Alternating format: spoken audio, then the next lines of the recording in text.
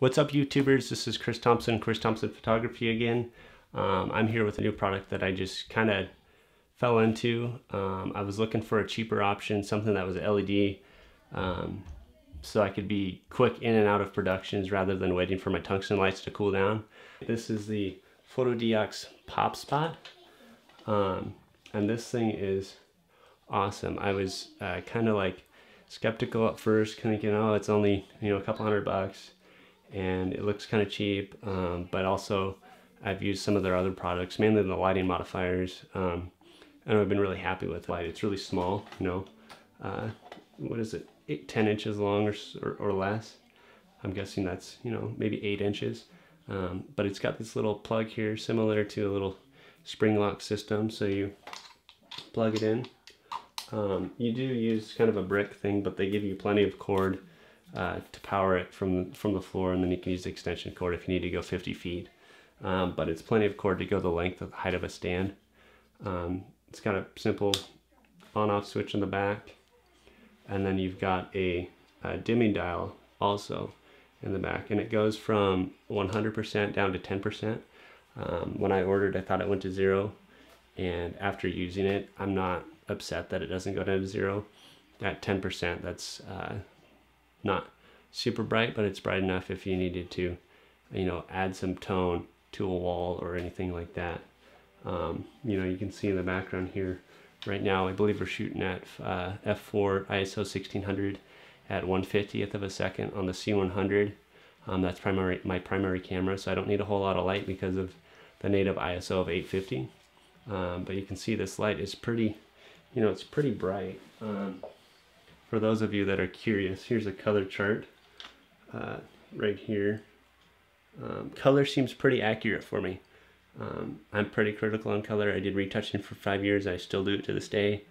Um, and usually you can kind of see a green or a blue tint, um, sometimes in yellow to the, the LED system. And I don't necessarily see that on this light itself. Um, I've got three or four other LED systems that I can see the definite green. But this light's great. It's um, I used it on a on a portrait set or a video set interview the other day, and you know I, I dialed it down.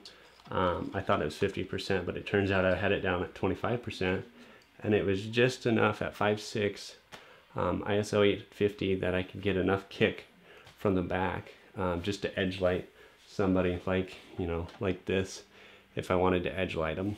Um, you know, it's got this little neat tungsten gel, uh, which is great because I still have tungsten lighting. I don't have all daylight LED lighting. You know how it's expensive and um, small productions, you, you just got to work with what you have and be efficient. So I'm glad it came with that. It's, it's actually pretty significantly like beefy system. So it's thick. Um, it also comes with these barn doors here as I get them off here. Yeah, barn doors I believe are plastic from what I can tell and not a huge thing. It doesn't put off a lot of heat. Um, most of the heat is in the back end of the unit towards, you know, the output. The exhaust is right here and the input is around here and those are the heat sinks. Inside there's heat sink uh, fins that you can see. Um, but it does have this zoom ring here. I'll put the barn doors and the gel back in. So we're into color spec. So it's got this, this uh, ring right here to rotate.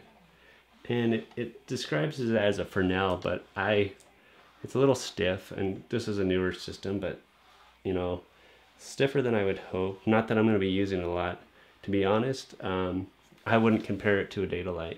It's not a, a true, it's not a, you know, really nice system like the Dedolight. The Dedolight is one of the best lights I've ever used. Um, it's not even comparable to the Arri because if you watch me try and cut an edge with this, I'll turn this key off so you can see. But if you list, if you can see, it's not getting a true edge to, uh, you know, cut that. So if I was to cut an edge with an Arri or a Dedolight, it would be a lot crisper. Um, this one is kind of soft, and even with that, between the two different zoom ranges. I'll show you the zooms. So that's tight down right there. And if I go wide out, takes me a little bit. It's not that wide, um, you know, so it's a, it's a great light.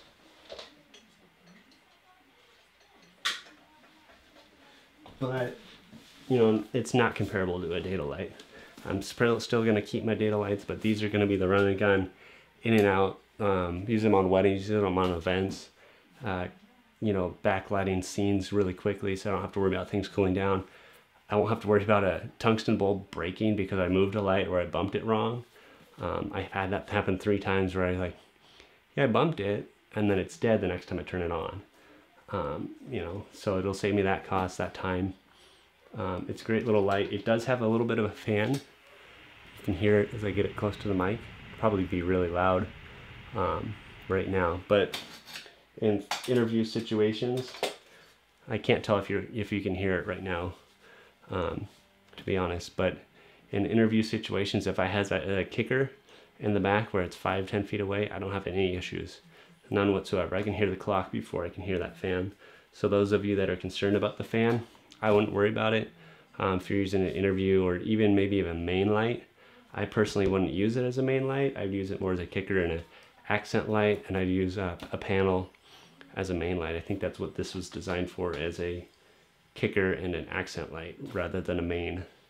Um, so yeah, feel free to leave me comments, um, suggestions. Let me know if you have any questions about that light. Um, you know, it's the pop spot from Fotodiox. I've been super happy with it. I'm not returning it. It comes with a case. Uh, you know, a little, some people make a big deal about the cases and yeah, it, it, for certain projects, for like this light, it makes a difference. Um, it's orange. It's kind of over overbuilt for what it is. So it's got this kind of top flap that flips open, and then inside of that, you have the secondary flap, and that kind of locks the light in. And then you've got spots, and I usually put the light in here and the power supply here. And on occasion, I'll put like gels or whatever diffusion in this little pocket in the middle. And you can meet, reposition these. So super flexible. But yeah, comments and questions below. Again, Chris Thompson Photography. And that's the pop spot. Super happy I got it. Thank you.